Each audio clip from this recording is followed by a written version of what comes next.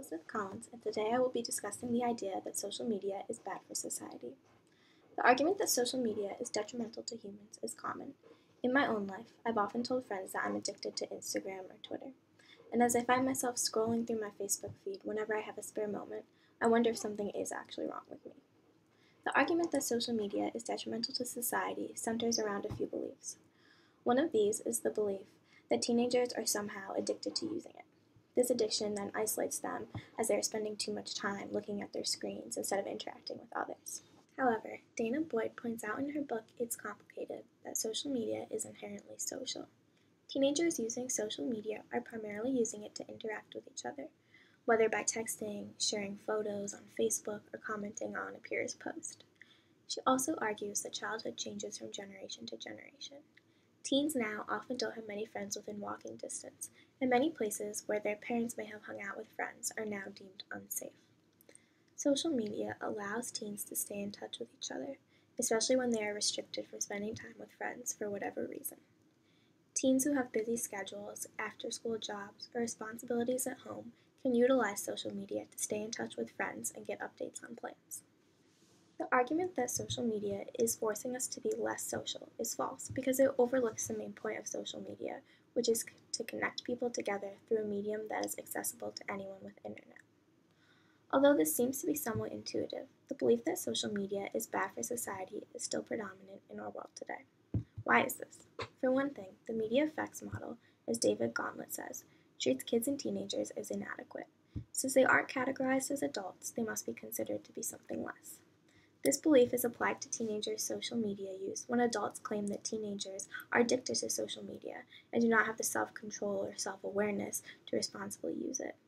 In reality, the majority of teenagers are self motivated enough to know when to put their phones down and get their homework done or go to sleep. For example, during high school and my time at university, my friends and I would often set aside an hour or so to study without going on our phones to use Instagram or Twitter. While there is a percentage of teens who are on their phones to the point of missing sleep or handing in late assignments, Boyd points out that this is true of many things, for example, an alcohol addiction, overeating, or even being obsessed with a hobby or sport. This fear that social media is detrimental to society also stems from the belief that the latest and greatest technology is somehow evil. In 1978, Jerry Mander published a book in which he explains how watching television is harmful to viewers. He even compares watching television to going to sleep with the aftermath of alcohol and Valium. This same type of fear mongering is being used as an argument against social media, since it is a relatively new media channel. To make matters worse, social media is used most frequently by younger people. In January 2017, Pew Research Center published a report that stated 86% of 18 to 29 year old Americans use social media, which is a higher percentage than any other age group.